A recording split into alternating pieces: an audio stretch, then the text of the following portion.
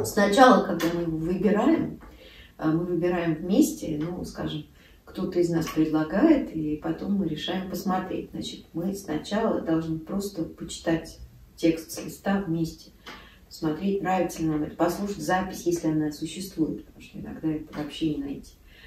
А, и потом мы решаем, да или нет. Comment on l'aborde À l'abordage. Et, et on souk ferme.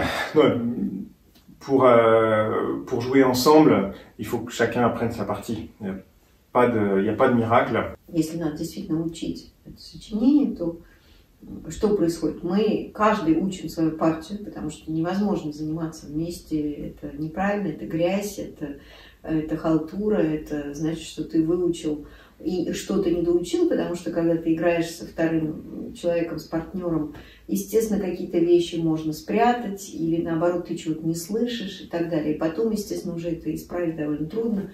Э, поэтому, конечно, первое, первое, так сказать, задание – это выучить свой текст, свою, свою партию, потом мы начинаем работать вместе. Идеально, euh, il faudrait presque que chacun apprenne les deux parties.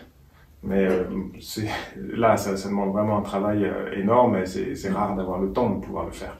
Ce serait l'idéal. Ну, вообще, это уже процесс работы такой довольно серьезный, длительный. Надеюсь, что когда-нибудь, может, мы вам расскажем и покажем, как это происходит.